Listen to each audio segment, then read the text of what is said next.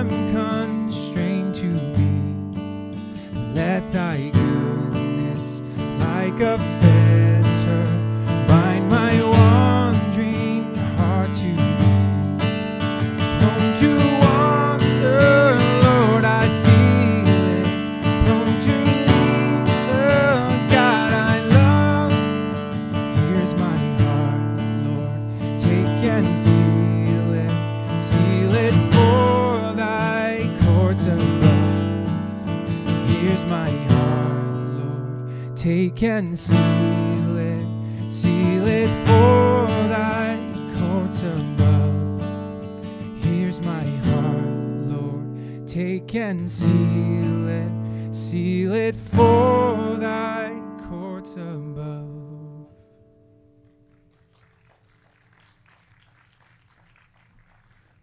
Would you please stand with me for this last song?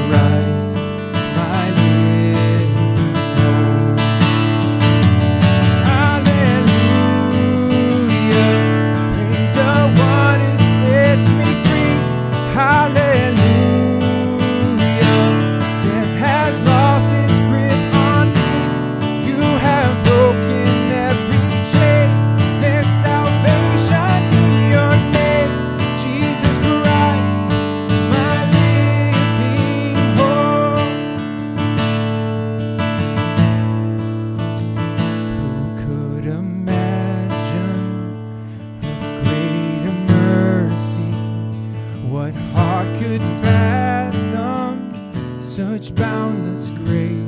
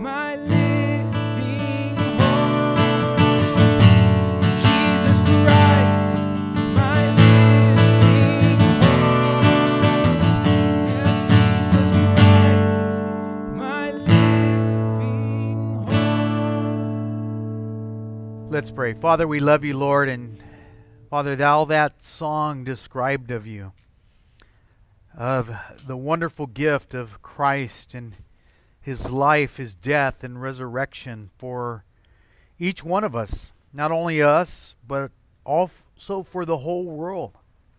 That we would put our faith and trust in what he did 2,000 years ago. That one day as we pass into eternity, we would be with you. By your grace, we're saved through faith, that not of ourselves, a gift, Lord. And we thank you for the precious body and the precious blood, the gift, the price that was paid for our salvation. So, Father, we thank you for this time of worship. We ask that you bless your people and bless your word. And we pray in Jesus' name. Amen. Why don't you uh, greet one another, say hello, and uh, you may be seated.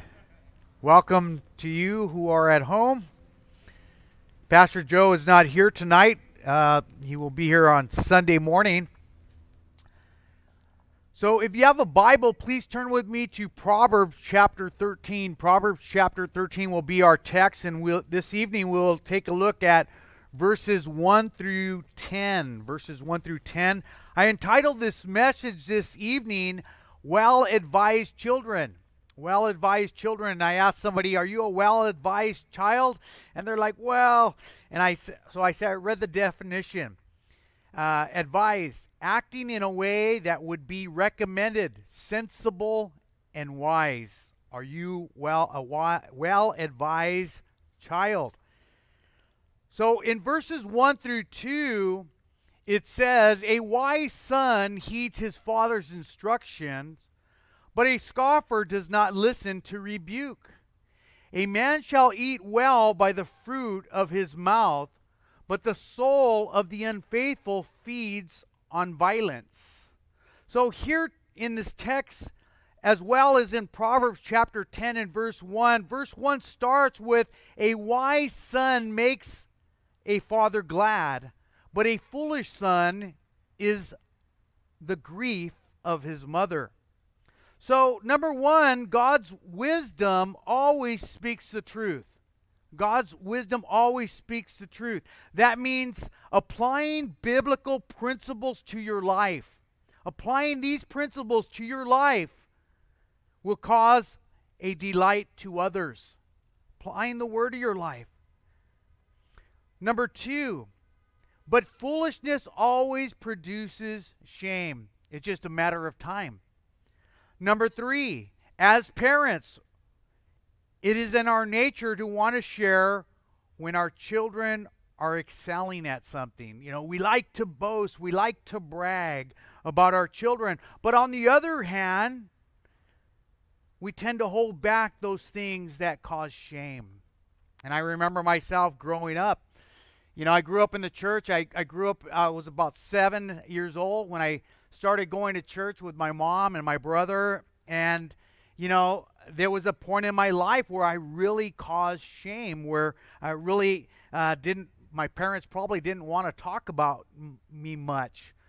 But so here in the scriptures, it's starting uh, it's stating how foolishness causes grief to the family unit. You know, obedience is blessings, but here in the text, it's it's saying how foolishness causes grief to your family. And it happens to every family. The word grief here speaks of a heaviness and it speaks of a sorrow. And this heaviness that God knows and has uh, he also has a remedy for it. You see, God knows your sorrow in your family unit if you're experiencing this. Because I remember putting my mom through heaviness and sorrow. I remember my mom being on her knees for me and weeping. So we know that this can cause a heaviness and the psalmist also experienced the same heaviness in Psalms chapter 119, verse 28. The psalmist experienced the same thing. He was probably going through it as we see here. He divinely prayed. And listen to his prayer. He said, My soul melts with heaviness. But he calls out to the Lord, Strengthen me according to your word. Are you there this evening? Are you are you in pain? Are you in heaviness? Do you have sorrow? Is there something heavy on your heart? We too could call out to the Lord for those things that are heavy in our life. And we too can call out to the Lord for strength according to your word. So pray for your children, but also pray that we as parents would be a good witness. You see, when it comes to the Word of God, we, we always need to take an inner look. For it's easy to look out and it's easy to look at our children, or, the, or we could also find fault with a lot of other people. But we are called His children. We are called His children. But the question is are we listening? to God? Are we taking heed according to His Word? Are we following His instructions? Or do we boast with pride and don't even recognize it? A lot of times we don't recognize, we see the sin in others, but we don't recognize the sin in ourselves. And it's very common to where you could hear somebody venting about some situation or something that they're going through with somebody. But it's very picturesque that, hey, it's about you. And we see this in Scripture also. Uh, remember the story in 2 Samuel chapter 12 and verse 7 when David was had a wayward heart. You know, he had a relationship with God. God called him a man after God's own heart. But he did something very sinful and wicked, and then his heart grew cold. And he was just merely religious and just going through the motions. And God told him a story through Nathan the prophet about his abuse of power, his murderous heart, and his adultery. And then David recognized, man, that guy's a problem. And Nathan said, You are that man. So when it comes down to the scriptures, we always need to take an inner look, as I did this evening and then this morning. Take an inner look to see what's going on. Lord, are you trying to show me something? Lord, am I listening to you? Or is my heart dull?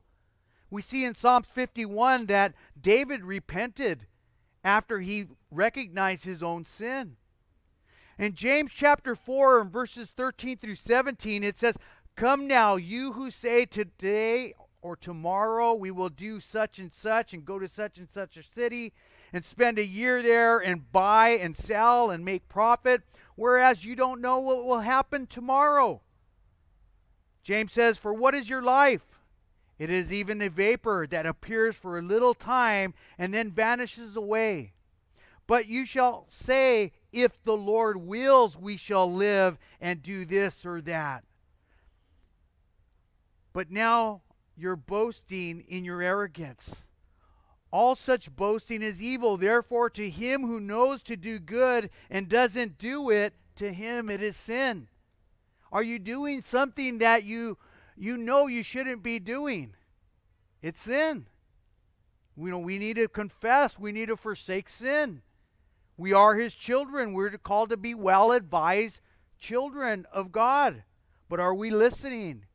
Do we have a sensitive heart to the moving of the Holy Spirit, to conviction in our life? But pray that we do. It's always wrong to look outward without looking inward. You know, a lot of times we can make judgments outwardly, but I, if I don't take an inward look, I'm hypocritical according to uh, uh, Matthew chapter 7. Hypocrisy.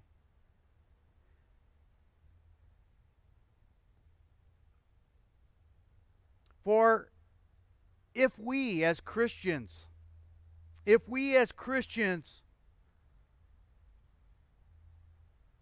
are not walking according to the word.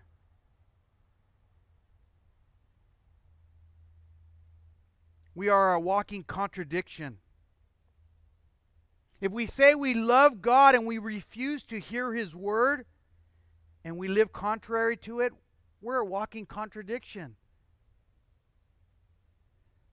Maybe it's time for an inner look.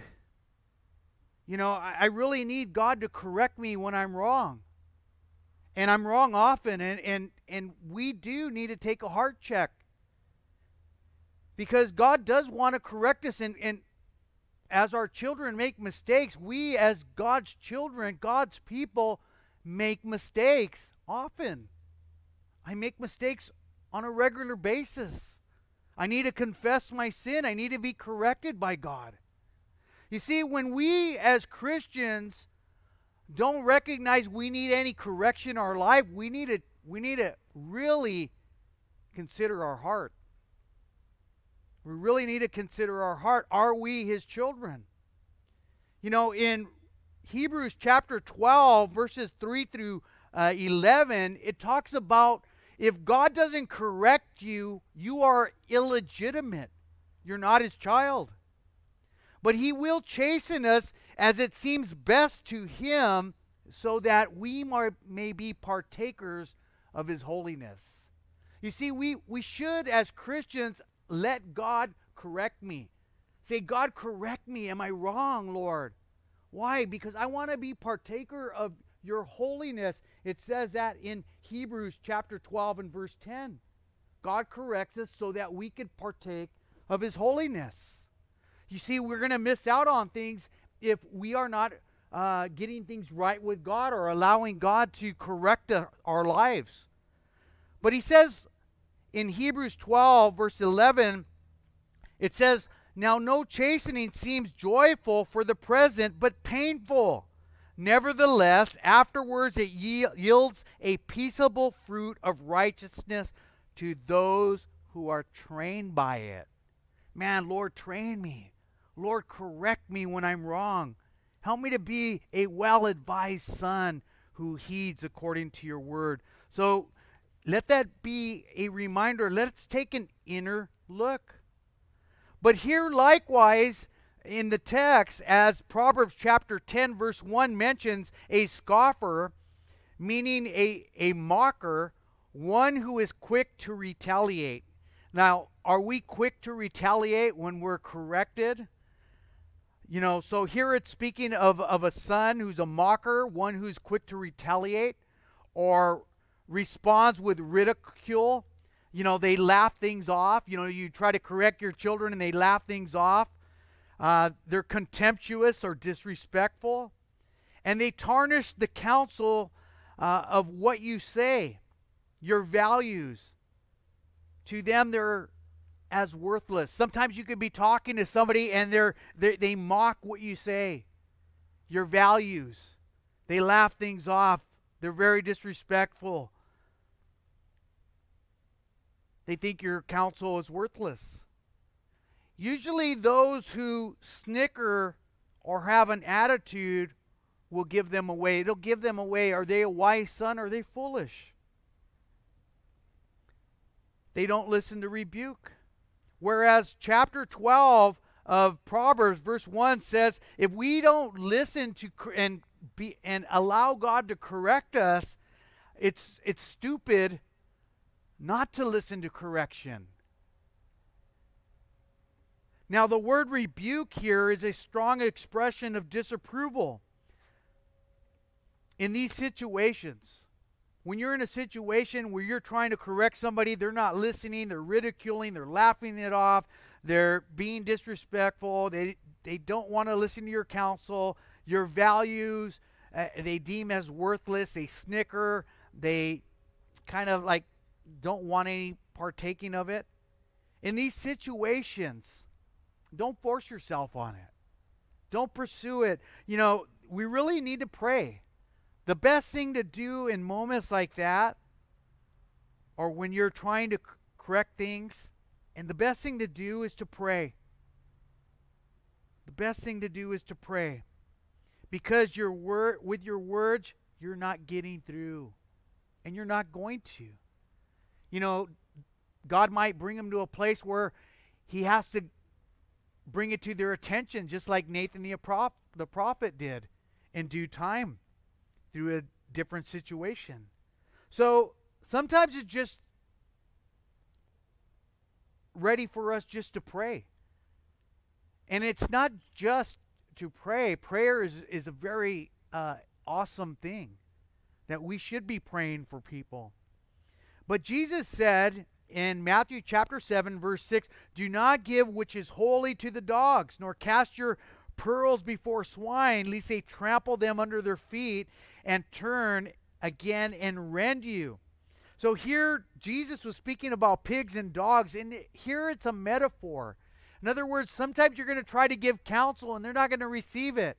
And, and Jesus is saying, don't give it out. You know, they're going to, don't cast your uh, don't give what is holy to the dogs. You know, they're going to trample it under their foot. So it's a, a metaphor. A metaphor for one who is of an impure mind, an imp, a, a son who's uh, impudent, uh, meaning shameless, brazen, and immodest in behavior. So, a lot of times we have to let those who don't listen to rebuke like the story of the prodigal, we need to let them go till they come to their senses. Like in Luke chapter 15. And I, you know, I, I think the, I think that's when when it hits you uh, the most when when when you come to the end and you realize how you need a savior. And you know bring people to that place in prayer. Lord get through their hearts. I'm not reaching them with my words but by your holy spirit you can touch them. You can minister to them and let them come to their senses but verse 2 says a man shall eat well by the fruit of his mouth but the soul of the unfaithful feeds on violence so it says firstly here eat well by the fruit of your mouth so scripture teaches us that we reap what we sow. We reap what we sow. Galatians 6 uh, verses 8 through 10. You know, so in the area of the tongue, Christian, be careful. In the area of the tongue, you know, I remember in my younger days, I reaped what I sowed. You know, I reaped a lot of words. I, I said a lot of words, but I remember uh, getting a lot of uh, fists to the face because of my mouth. So you reap what you sow. So in in a relationship too, when we're in a relationship too, we also need to be careful with our words. We need to be careful with our words uh, because our words uh, can benefit and they can be fruitful when we're communicating rightly. But we need to be careful that we don't miscommunicate. Because a lot of times we, we could be saying the right thing but our body language or our mood or our tone will make everything go away. You know, I could say all the right things, but I, if I say it in a wrong tone, you know, they're not going to receive it. So I really have to be careful uh, about my words and how I share. But the scriptures tell us to be an attentive listener. Be an attentive listener. As Christians, God has called us to be listening twice as much as we speak. You know, we got two ears and we got one mouth. So, Scripture tells us to be an attentive listener, uh, but an unhurried speaker, because there's safety in having a guarded tongue. But as the old adage says, loose lips she ships. Loose lips sink ships.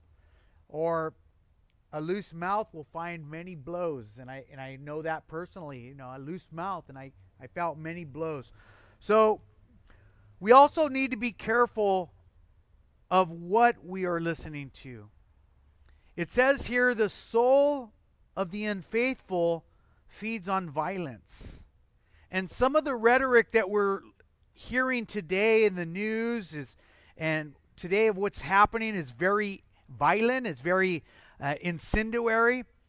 And what we're hearing is, is combustible. You know, we see about, you know, what it, is it benefiting? Is it helping the things that we hear? You know, here it says that, the, that they're feeding on these things. But here is it, is it helping?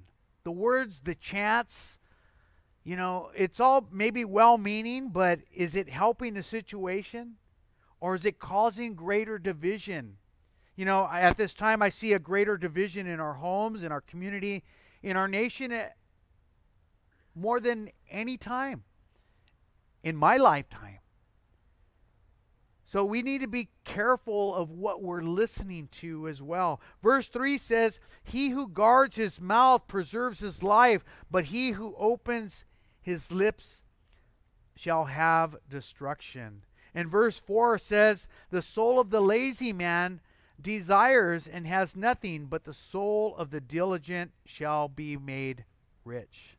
So, here in the text, the Bible tells us if laziness results in emptiness, diligent then produces.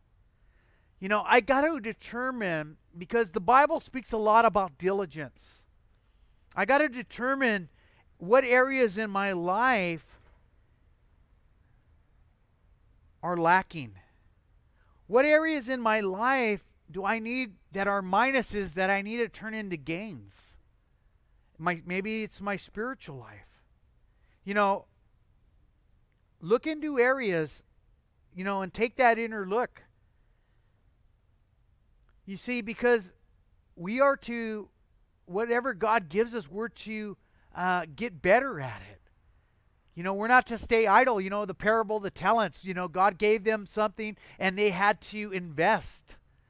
You know, and I and I think of that in myself. Am I investing in my daily habits? Am I diligent spiritually? As Christians, we're called to be diligent spiritually, not spiritually lazy. And a lot of Christians don't want to read the Bible. And we need to pray. If that's us, we need to pray, need to get in the Word. Be diligent about the Word. Why? Because the Bible tells us it produces a work of the Spirit in us. In Romans chapter 12, verses 1 and 2, it says it transforms and renews our mind. It's like water, it refreshes us. It's like milk and meat, it, it makes us healthy and strong. So, think about your spiritual life. Are you diligent in the area of, of, of being spiritual, or am I lazy? Am I reading my Bible? Number two, am I surrounding myself around people who are going to build me up, lovingly tell me the truth?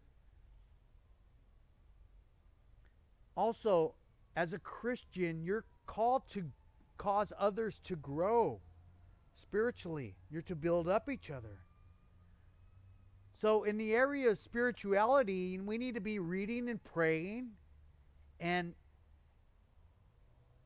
re- growing spiritually. Faith comes by hearing, and hearing by the Word of God. And the Bible tells us don't forsake the assembling of ourselves. We need to do those things. But how am I doing physically? Physically, because physical things matter too. Am I lazy or am I diligent? Am I eating healthy? Am I exercising? Am I taking care of what God has given me? What about my home? My garage? You know, are there areas in my life that are that need work? I I do. That there's areas in my life that don't glorify God. I need to change. I need his help and you know what? When I recognize it, he will help me. But I want to encourage you too about your uh, your a mental stretching. A mental stretching. You know, stretch yourself in er- your area of vocabulary. I'm trying to learn new words and, and, and a new language and, and get better at certain things. And we should learn and stretch ourselves. But also in the area of, of speaking and thinking. You know, do I avoid a lot of political issues or moral issues? How about abortion? Do I know how to talk about abortion or moral issues or political issues or do I avoid them? You know, we too need to be good thinkers. You know, there there's areas where we could get better instead of running, we could talk and reason. And Paul throughout the book of Acts reasoned with people. So it's good to listen. It's also good to ask questions where to find out where people are coming from. But verse 5 says, A righteous man hates lying, but the wicked man is loathsome and comes to shame. And the word loathsome, it, simply means it's stinky, you know. Uh, uh, that lying is, is, is stinky, it, it's disgusting. We should hate lying. You see, lying might seem good for the moment, but it's like filling a bag full of stuff that begins to stink and rot and fester. And eventually the bag is this bag of lies is is eventually going to break and cause full exposure and considerable damage and shame. You know, we're living in a day today where you know, media and politicians I don't know, we can't uh, we almost come to the place where we don't know if they're telling the truth or not. And that's bad. Because just think what we are right now, how worse it's going to get. People are promising things and people are doing things, and it's just shameful. But you know what? God is going to hold everyone accountable, every lie. God hates lying. Why? Because it's not only offense to people, it's offense to God. And he's going to right all wrongs. But here verse 6 says a right righteousness guards him whose way is blameless, but wickedness overthrows the sinner. So scripture here teaches us that doing things God's way will keep you guarded. If you do things God's way, it'll keep you guarded. Why? Because you'll be right in his sight and blameless before others. But the after effect of the wicked brings an onslaught of guilt, woe, and endless sorrow. You know, wickedness, wickedness, you know, partaking of wickedness and lies, you know, you think you're getting away with it, and it's like, you know, somebody running with a football, ready to go into the goal line, you know, just happy and celebrating, and then all of a sudden, boom, judgment comes, and that's all gone. You know, all that is for nothing. But verse 7 says, There is one who makes himself rich, yet has nothing, and one who makes himself poor, yet has great riches. See, having riches in abundance and possessions could still leave you empty. Could still leave you empty. But there is a place of contentment for the Christian with godliness where there is an unsurpassing peace, God says, an unquenchable joy, an irrevocable, everlasting gains. They who find it the Bible say says are truly wealthy. You know, am, am, am I in that place with God where, man, I'm content, Lord? You know, I'm where I want to be. You know, there's a balance. But sadly, some will look one day to an empty bag. Some will look one day to an empty bag when it comes to their pursuits. What are we pursuing? Are we pursuing for an abundance of possessions? Are we trying to get rich? But you see, trying to be rich will never make you happy. For money and the pursuit of it doesn't benefit us in the least at the end. How do I know? You know, I've, I've done a lot of hospital calls where I've watched a lot of people die I've done a, a lot of home visits in nursing homes where I was bedside when people go into eternity. And you see, they're not clutching for riches. They're not clutching for their wallets or their houses or their cars. They're not clutching for money. They're clutching for life. And they're trying to hold on to the things that they love and the people they love. Those are the things that matter. It's not about stuff. Stuff is okay, but there has to be a balance. But one could have little yet have great riches in in 1 Timothy chapter 6 and verse 6 Paul says, "Now godliness with contentment is great gain." Contentment meaning a perfect condition of life in which no aid or support is needed. Sufficiency. I'm sufficient with my life's necessities. Remember Paul.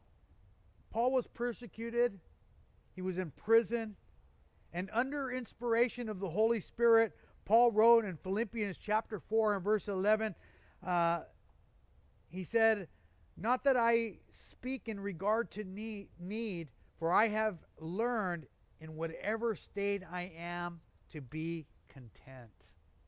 You see, Paul was in prison. Paul was beaten, wrongfully placed there. And you know what? He was content. He was content. And Jesus warned us in Mark chapter 4 and, and 19 about the pursuit of riches. And he says, The cares of this world, the deceitfulness of riches, and the desires for other things entering in will choke out the word in the believer, and it becomes unfruitful. So being successful isn't a sin. Being successful isn't a sin. We should glorify God in how we work and what we have. So, but we have to have a balance. In 1 Timothy chapter 6 verse 17 it says, "Command those who are rich in this present age not to be haughty nor to trust in uncertain riches, but in the living God who richly gives us all things to enjoy." So the word haughty speaks of a lofty mind. Man, I'm just gaining riches so I could show off or I could be proud. You know, so the the word is saying, you know, trust in the living God. Why? Because everything we have can be taken away from us in a moment. But am I content? See, God gives us richly all things to enjoy. In verse 8, it says, the, the ransom of a man's life is his riches, but the poor does not fear rebuke. The New Living Translation says, A rich man can pay a ransom for their lives, but the poor won't even get threatened. You know, in some cultures, it's safer to have little. Why? Because they'll abduct you and and uh, hold you for ransom. Verse nine here says, "In the light of righteousness, I'm sorry, the light of, of the righteous rejoices, but the lamp of the wicked will be put out." So eventually, uh, it just seems like the wicked today uh, get away with all kinds of things. You know, it just seems like, you know, you could lie and you could cheat and you could steal and you know nothing's going to happen to you. you. You know, you're you're getting away with murder. You know, you have all these investigations and no one's ha- being held accountable for years. You know, we have two-tiered justice system for the rich and for the not so rich or for the average. But it just seems like the, the wicked get away with evil and enjoy doing it. And they still prosper while doing it. And you know, the, the, the psalmist in Psalms 73, verse 12, had that same idea. He was saying, Well, I can't believe they're just getting away with it. They're carefree. They're always carefree. They're wicked and they're doing evil things and they're always carefree and they conti- continue to accumulate their wealth.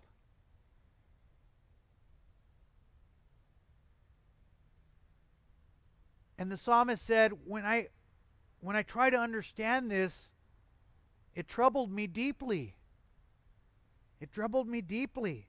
And the psalmist was thinking something's wrong with this picture. You know, they're just getting away with all these things, all these crimes that they're committing. But the psalmist's understanding of the things that he was seeing was open. In Psalms 73, verse 17, it said, When I entered into the sanctuary of God, then I understood their final destiny. You see, we could have and get away with murder here. But in heaven is where we give an account for our lives. But in verse 10 it says, By pride comes nothing but strife, but with the well advised is wisdom. So, strife is contention. Uh, strife is struggling or having a rivalry with somebody, and it happens often in the church. It happens in the family. It's like having an embittered uh, competition or an ongoing personal struggle with somebody. You know, I'm having a personal struggle with somebody. And God calls that strife or a rivalry. And it's and it's causing bitterness and it's it's ongoing. It's this personal struggle. There's animosity. And there's a strong dislike. And you see this struggle that we have within us, God sees as sinful. God sees us as sinful and carnal. You see, we as Christians can be sinful. We as Christians can be carnal.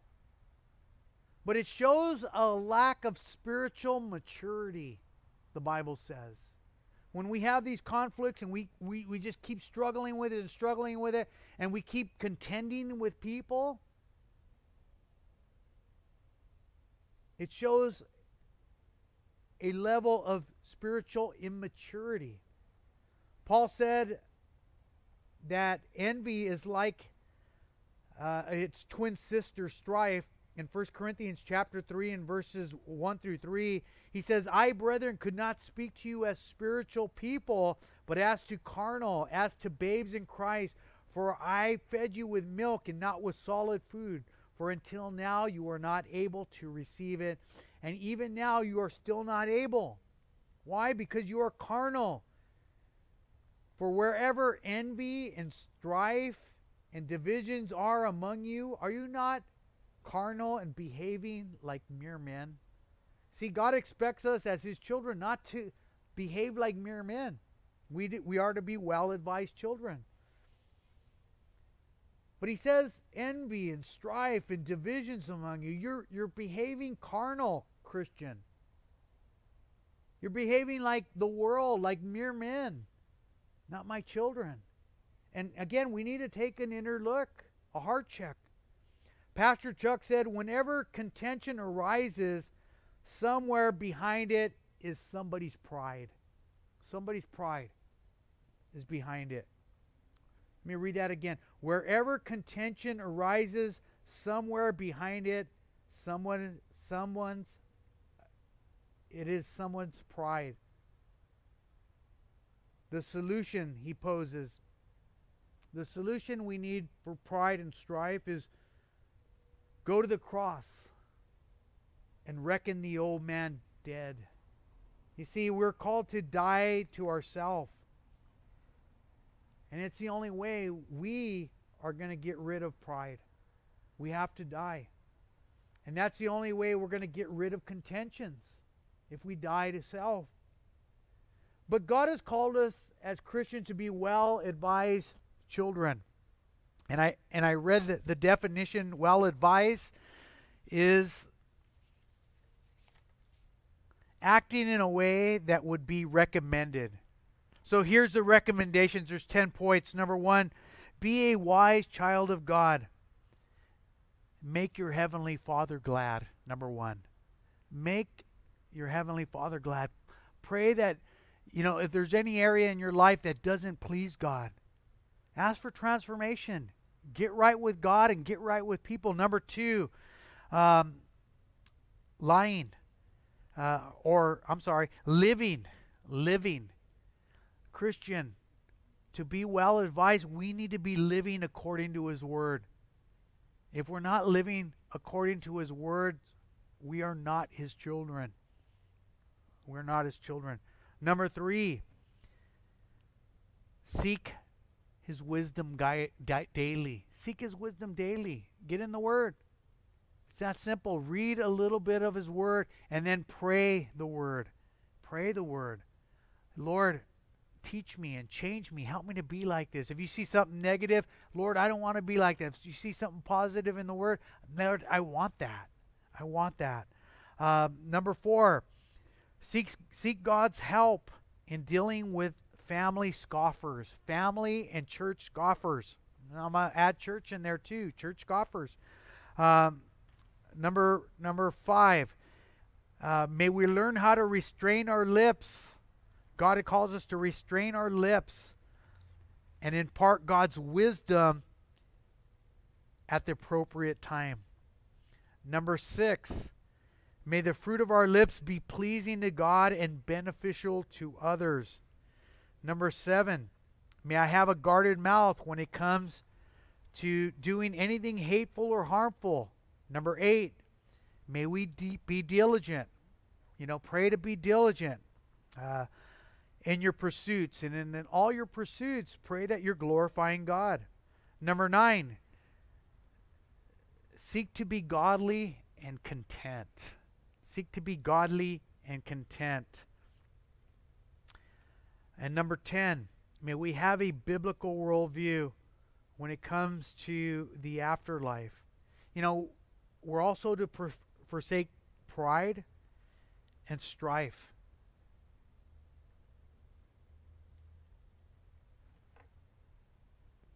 We're called to forsake pride and strife. We're called to die. You know, one of the worst things is we let the old man resurrect his ugly head.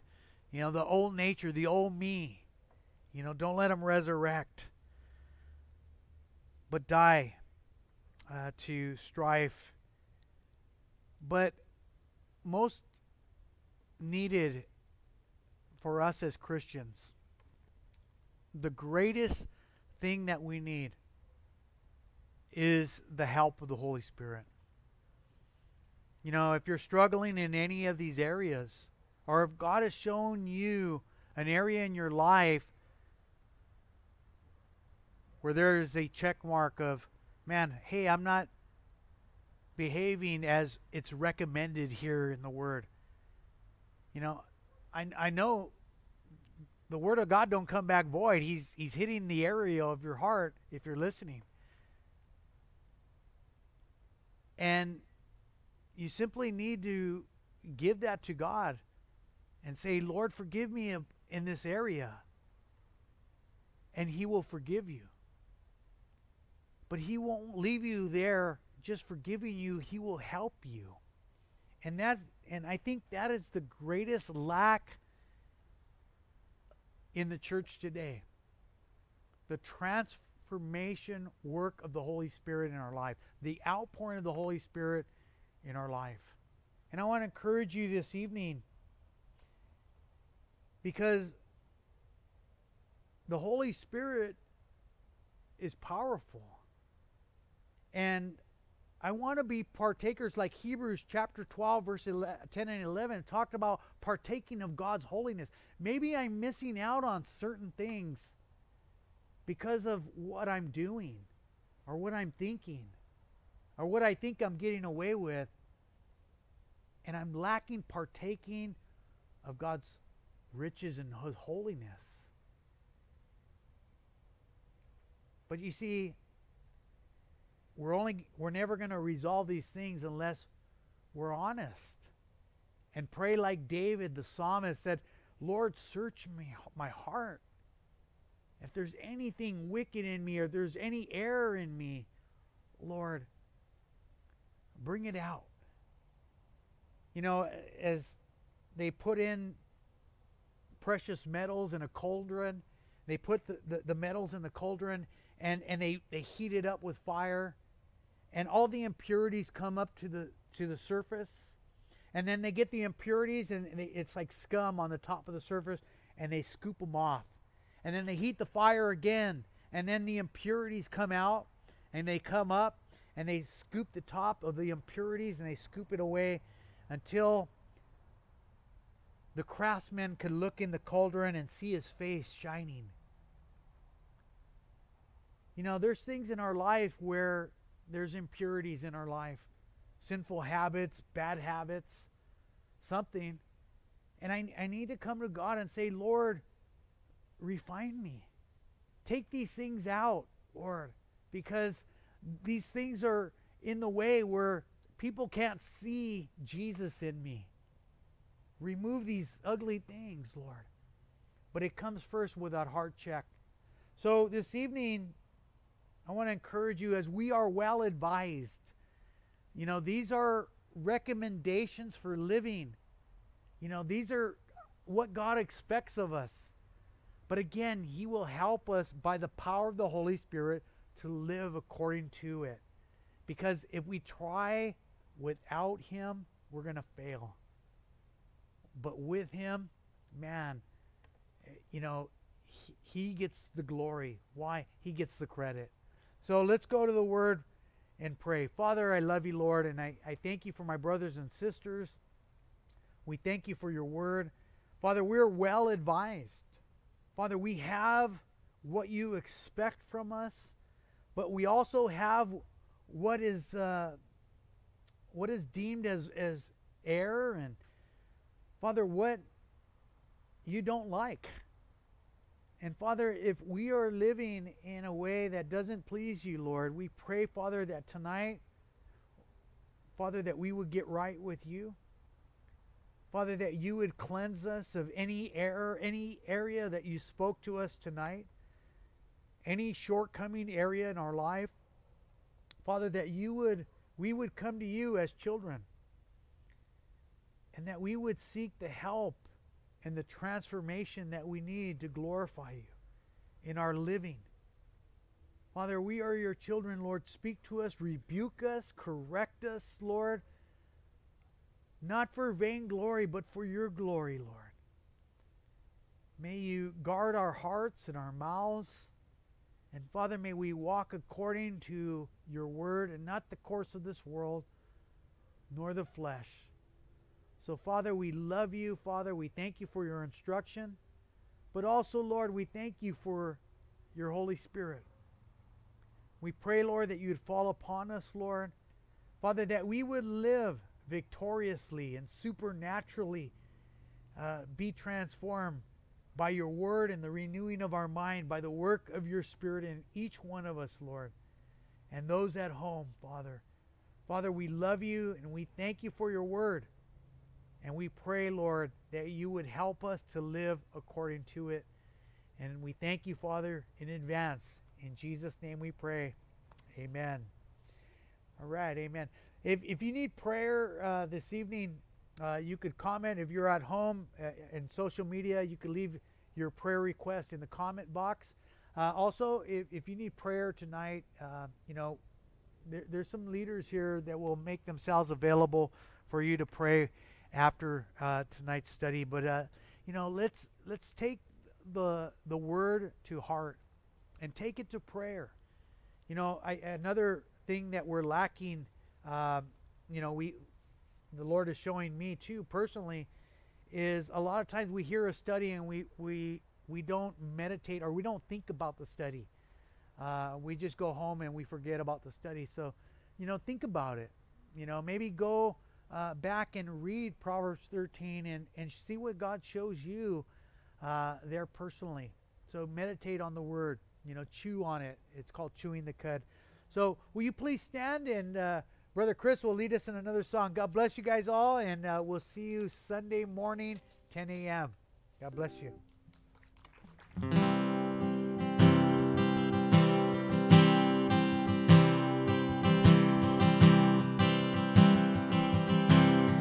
God's great love